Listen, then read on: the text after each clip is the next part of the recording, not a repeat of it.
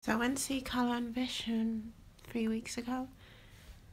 It's terrible that it's taken me so long to talk about it.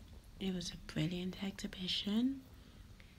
It was, I don't know, I can't remember much. Had my head buried in the sand for so long. Still trying to get the to get to grips with work. So it was meant to be eye candy, actually. Crap. Oh Lord have mercy. I did not just swear. It was eye candy. It, it was absolutely brilliant. I, I, I was just going through the motions at the time. You know, just like, okay, you've got to go see something to find some kind of balance to keep your sanity and all that.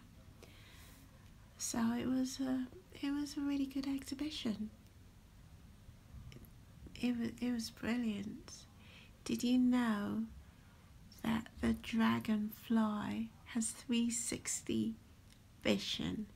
That's why they're really hard to catch. And they've got really simple brains, but very, very, very complex eyes. And we have simple eyes. I mean, not simple eyes. Um, we have like camera eyes and really, really complex brains. But mm, it was very um informative. That's what I'll say. It, it, was, it was well worth going because any other day I'll be like, oh, well, am I going to Natural History Museum? It's all about fossils and stuff, but no, it's not all about fossils. So it was, it was, it was a brilliant experience. It's definitely an exhibition I'll visit again. Mm.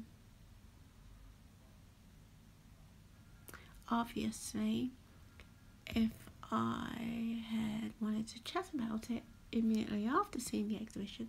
I have so much more to say, but as it is, I've been silent for so long and I'm like basically tripping over my own tongue. So I don't really have much to say apart from the fact that some of these pictures are really scary. I mean, some of these images are, mm, you know what? I'm not even going to say anything anymore.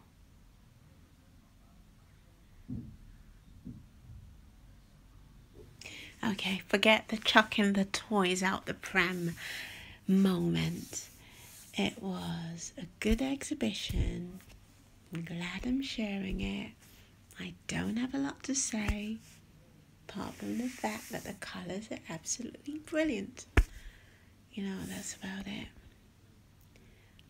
I really need to talk about the exhibition I saw over the weekend, but not now. Oh God. I don't even, I'm like, what is wrong with me today? So messed up. This is what? Oh, jeez.